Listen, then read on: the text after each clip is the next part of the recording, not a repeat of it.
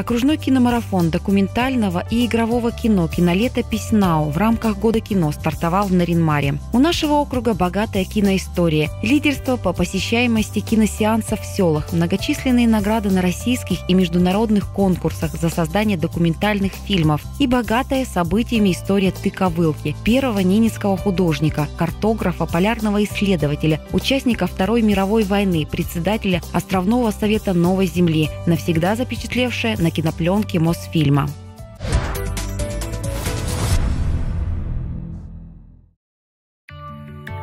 Открытие киномарафона состоялось в кинозале Дворца культуры «Арктика». На творческую встречу пришли бывшие директора, сотрудники кинотеатров «Дружба» и «Арктика». Среди них киномеханик первой категории Галина Чуклина. А у нас в «Дружбу» сколько народу ходило – а лишнего билетика нет у вас? А лишнего билетика нету, спрашивали. Это потом, конечно, был спад в 90-е годы, и то мы выстояли. Мы же не развалились, мы, э, кинотеатр не ушел куда-то. Мы сохранили оба кинотеатра, что «Дружбу», что «Арктику». Любили очень индийские фильмы. Вот на индийские фильмы люди всегда ходили. И наши советские фильмы тоже очень люди любили. А какие именно?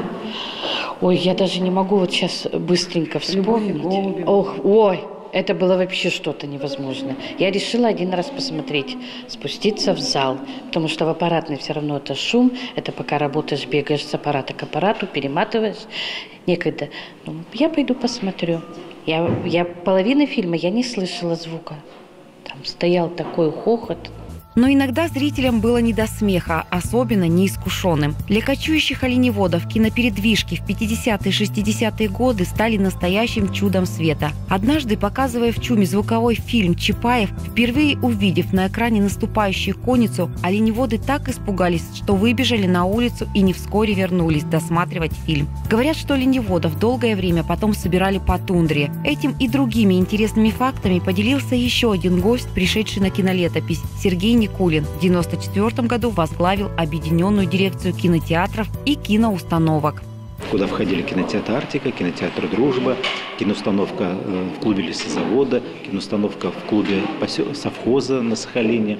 Э, также у нас э, киноустановка в Доме культуры была, была киноустановка в зоотехникуме в первой школе. Из малого кинозала мы сделали видеозал, и э, с новой японской аппаратурой тогда это, конечно, был фурор для э, Нарьянмара. Очень интересный факт, что когда вот 10 лет назад отмечали 75 лет, в 2006 году посещаемость киноустановок в селах Ненецкого округа на душу населения занимала одно из первых мест России.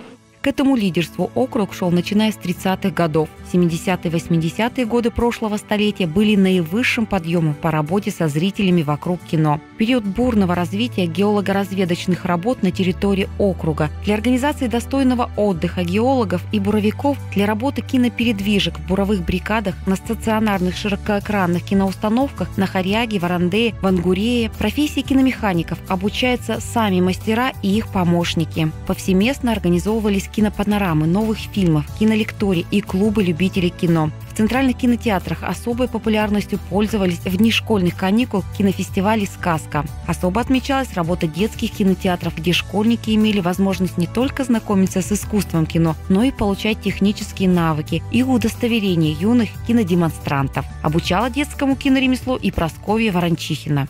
Потом я работала в школе интернат там на этой аппаратуре тоже ребята работали. Угу. А он со звуком, да? Это со звуком, обязательно со звуком. И... Здесь только э, лампочки нет звуковой. Она у меня дома есть, я принесу ей в музей, отдам. Угу. А здесь что, бобина, да, стояла? Здесь бобина. Угу. Здесь бобина, здесь наматывающая, угу. здесь уже наматывает. Здесь положим большую бобину, а это наматывает уже этот самый. А тяжело управлять таким аппаратом? Нет, это ну что, включишь, да и все.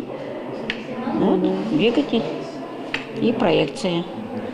А были какие-нибудь, знаете, серьезные поломки во время Обязательно, обязательно бы да. должны быть и были. Ага. А и как устраняли, например? На очень просто. Здесь, значит, надо зарядить правильно. Зарядить и эксплуатировать правильно обучали и в Наринмарском ГПТУ номер 24. География первых выпускников киномехаников получилась весьма обширной. Освоив специальность, они отправлялись на работу на киноустановки Ненецкого округа и Архангельской области. В Мизень, Лишуконское, Шенкурс, Вилять, Коряжму, Котлас, Няндаму, Вельск, Яринск. Всего за время работы отделение ПТУ подготовило более 500 профессионалов профессиональных кинопрокатчиков. Кстати, среди любимых фильмов, которые показывали наши и другие российские кинопрокатчики, был и советский фильм режиссера Аркадия Кордона «Великий самоед», снятый на киностудии «Мосфильм» в 1981 году. В основу фильма положена биография ненецкого художника, сказителя и общественного деятеля Тыка Вылки.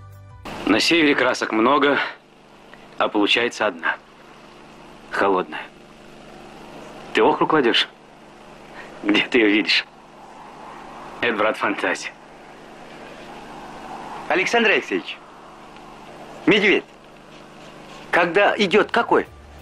Белый. Съемки фильма проходили на родине Тыковылки, Новой Земле. В советское время Новая Земля была закрытой зоной, но Аркадию Кордону удалось заручиться поддержкой начальника главного штаба ВМФ СССР адмирала флота Сергеева и получить разрешение на съемки. Сам адмирал Сергеев, много лет прослуживший на этих островах и прекрасно знавший Тыковылку, стал главным консультантом фильма. Среди лучших фильмов, показанных на кинолетописи, был и фильм нашей телерадиокомпании «Тюнтова», что в переводе «Ненецкая свадьба», созданный режиссером Марией Кравченко.